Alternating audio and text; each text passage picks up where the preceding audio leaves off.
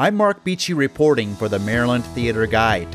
On Monday, August 27th, world class performers gathered to present a cabaret for a labor of love at Howard Community College, raising money for the Ellicott City Partnership.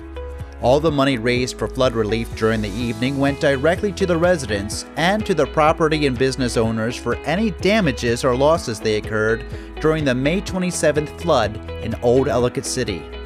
Performer Heather Beck was particularly hurt by the flood. Let's listen to her inspiring story. I have lived in Ellicott City for 29 years at the bottom of Main Street, right near Old Mill Bakery, for, let's see, on Westchester, over the bridge. Uh, but I have lived there for seven years. My husband and I met uh, in Ellicott City, got engaged in Ellicott City. I have a business in the Antique Depot. Uh, we've had it since 2012. First one booth, then two booths, then three booths, four booths. I still have them today. The business is called Heather's. Lots of wonderful things and fun stuff. Point being, Ellicott City is my heart. Uh, after Sean and I got married, we had a walking wedding down Main Street. Started at the bottom, worked up to the top. Parking lot buses, Mount Ida, all the way down Church Road, 150 people. We all walked to Ellicott Mills Brewery and had a reception there. It was, and still does, means so much to me. Um, shortly after we got married, Mathis and I, slash Mathis, I mean my husband Sean, um, we said we want to bring our son home from China, Mathis.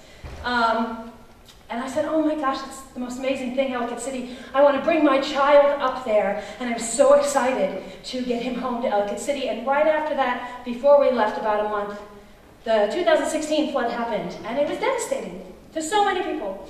Um, Mathis came home, we went, we got him. And what he learned immediately was Ellicott City's support and community and sense of core. And Ellicott City rebuilt. And Mathis saw that all happen, and we think of Mathis as the pillar in our family. So here it has happened again, 2018 flood, and we're here to support it. And Mathis says to me, he goes, Mom, well, you're a little bit sad. Why are you sad? I'm like, well, you know, there's flood, things are destroyed. He says, Mom, I was here the last time. It's going to rebuild. It's going to build new. It's going to recover. Remember, Mom, you told me about community? That's what the core is in its strength. So I said, it's funny, you remind me a lot of Ellicott City at its core. I think it's really cool. So. Oh, oh, this is your life right here, right now. Whoa. Oh,